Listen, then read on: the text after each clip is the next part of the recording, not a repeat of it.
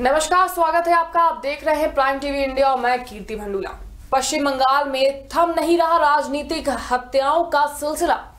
एक सप्ताह में दस लोगों की नृशंस हत्या कर दी गई, जिसको लेकर यहाँ की राजनीति हिंसक हो चुकी है। भारतीय जनता पार्टी समेत तमाम दलों ने ममता बनर्जी सरकार को घेरना शुरू कर दिया है। गौरतलब है कि विजयदशमी के दिन मुर्शिदाबाद के जिया गंज में एक ही परिवार के तीन लोगों की हत्या के मामले में बढ़ते राजनीतिक विवाद। इतना तेज हो गया कि प्रदेश में राष्ट्रपति शासन लागू करने की गूंज उठने लगी है।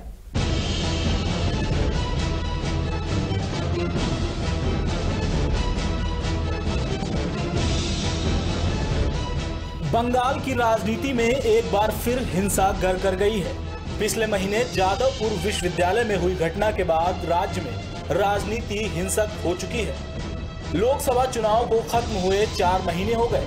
केंद्र में नई सरकार बनी और देश नई दिशा में आगे बढ़ चला है। लेकिन एक चीज़ नहीं बदली, पश्चिम बंगाल में हिंसा और राजनीतिक हत्याओं का सिलसिला।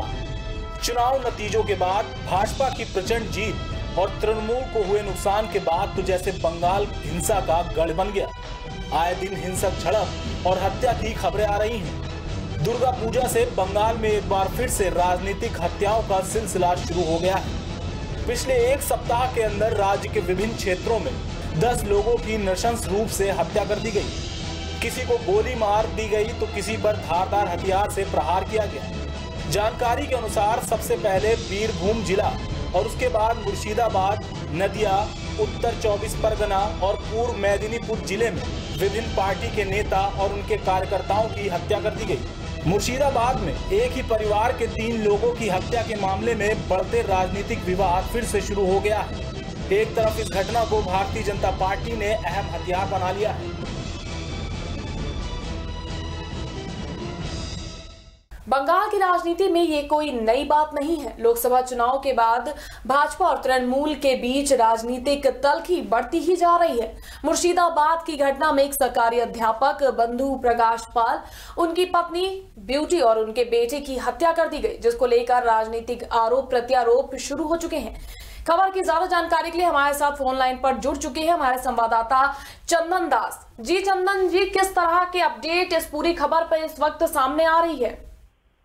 देखिए सबसे पहले मुर्शिदाबाद की एक घटना है बंगाल में। पिछले एक हफ़्ते में जिस तरह से हत्या का दौर शुरू हो चुका है बीरभूम से लेकर चाहे पूर्व मेदिनीपुर हो या पश्चिम मेदिनीपुर एक के बाद एक हत्या का घटना सामने आ रहा है जिसको लेकर बंगाल की राजनीति एक गरमाई हो चुकी है। और इसमें चीज़ों से बात है कि मुर्शिदाबाद की जो घटना है इस घटना में राजनीतिक हथियार सबसे ज़्यादा फ़ायदा उठाने की कोशिश कर रहे हैं भाजपा।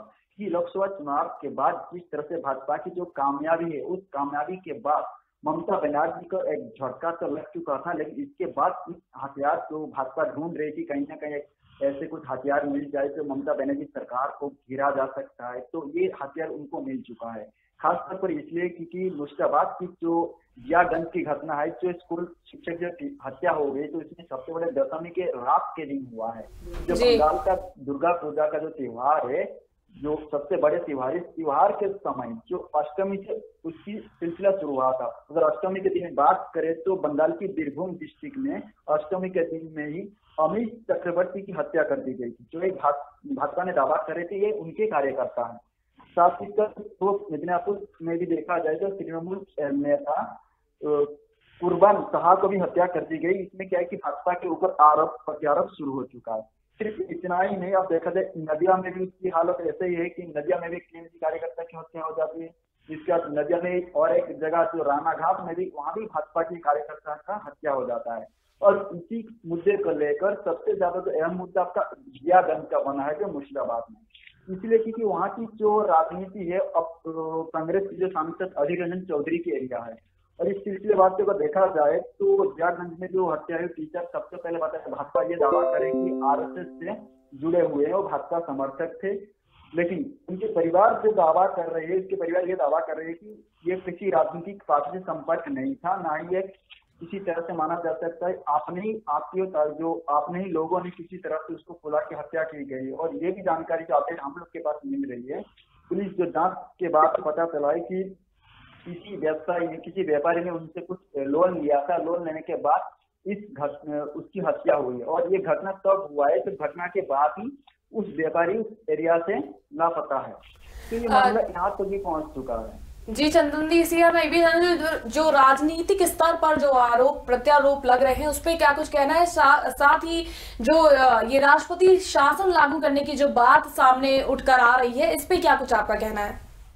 आपको सीधे पर ये बात बताना चाहते हैं कि बंगाल की राजनीति में अब जो राष्ट्रपति शासन के मांग भाजपा इसलिए कर रहे हैं कि वहाँ की जो कानून व्यवस्था को लेकर वारा सवाल उठना शुरू हो चुका है। ये सवाल अगर देखा जाए, दो हज़ार तेरह में जब सुजीत गुप्त की पुलिस कस्टडी में जो एस एफ़ आई के जो छात्र नेता थे, उसकी मौत के बाद ये सवाल पूछना शुरू हो चुका था। लेकिन अब जो ये बात है कि दस दिन के अंदर दस हत्याएँ होता जा रहा है। एक हफ़्ते के बार बार लगातार एक डिस्ट्रिक्ट से लेकर हत्या होता जा रहा है। तो उसके कानून व्यवस्था को लेकर सवाल उठने लगा है। राज्य के जो भाजपा सांसद, वो आपका प्रदेश अध्यक्ष दिलीप घोष कैलाश विजय वर्ग जी समेत तमाम भाजपा नेता के साथ विपक्ष दल ने भी ये विपक्ष पार्टियों ने ये सवाल भी उठा रहा है कि कहीं ना कहीं राष्ट्र में राज्य में अब राष्ट्रपति शासन लागू होना चाहिए। तो इसको लेकर भी भाजपा ने विरोध प्रदर्शन शुरू कर दिया है। और एक अपडेट जो आ रहा है, कियागंज में हमारे जो जानकारी मिला है, कल जो जाँच एजेंसिया है, कल फॉरेंसिक टीम ने वहाँ जाके फिर से घटना को नाट्य रूपांतर दिया है। उस नाट्य रूपांतर के बाद उन्होंने वहाँ कुछ सबूत उसके हाथ में लगा है, जिसके कारण क्या हुआ है कि वहाँ कुछ पता चला है कि जो स्थानीय जो प्रत्यक्ष दर्शी है, उन लोगों ने बता रहे हैं कि सीधे पर जो खून हुआ था, उस दिन रात से उन्हीं के घर से एक, बिना पहचाने एक युवक वहाँ से दौड़ते हुए भाग गया था। इसका कुछ देर के बाद ही वहाँ एक जो कपड़े मिला था खून से पूरे लथपथ था उसके बाद आरोप ये भी साबित होने जा रहा है कि आखिरकार खून किसने किया और खून के समय उस लड़का वहाँ क्या कर रहा था। और राष्ट्रपति शासन को लेकर आप दिलीप घोष कैलाश विजय वर्ग के समय लोकेश चटार्जी ये सारा जो भाजपा प्रतिनिधि मंडल आप सीधे तौर पर दिल्ली के लिए रवाना होने के लिए जो बात सुनने का आ रहा है रवाना हो सकते हैं। वहाँ केंद्रीय मंत्री जो है अमित शाह के साथ राष्ट्रपति रामनाथ कोविंद के साथ मुलाकात भी करेंगे। सिर्फ़ इतना ही नहीं भाजपा भाजपा ही नहीं, वहाँ के जो बंगाल में सीधे तक आपको पता है, बंगाल में एक वक्त ऐसा था जिस समय कम्युनिस्ट का गढ़ माना जाता था। ये लोग भी आज ममता बनर्जी को घेरने के लिए एक मौका मिल गया, जिस तरह से उन्होंने राजनीति आरोप प्रत्यारोप एक के बाद एक शुरुआत हो चुका है। बहुत बहुत शुक्रिया चंदन जी हमारे साथ जुड़ने के लिए।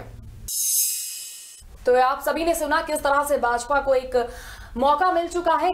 तृणमूल के ऊपर जो ममता बनर्जी की पार्टी है, उस पर निशाना साधने के लिए, साथ ही ये बिल्कुल बेशक ये सवालिया निशान खड़े होने बनते हैं कि एक हफ़्ते में दस मौतें हो जाती हैं और उन मौतों के पीछे का कारण सिद्ध नहीं हो पाता है। बाकी राजनीति राष्ट्रपति शासन को लेकर वो लागू होता है या नहीं, लेकिन भाजपा की लगातार प्रदर्शन इस चीज़ पे भाजपा का जारी है। इसी के साथ हम बाकी जो भी अपडेट होगी वो आप तक पहुंचाते रहेंगे। देश और दुनिया की तमाम बड़ी खबरों के लिए आप देखते रहिए प्राइम टीवी इंडिया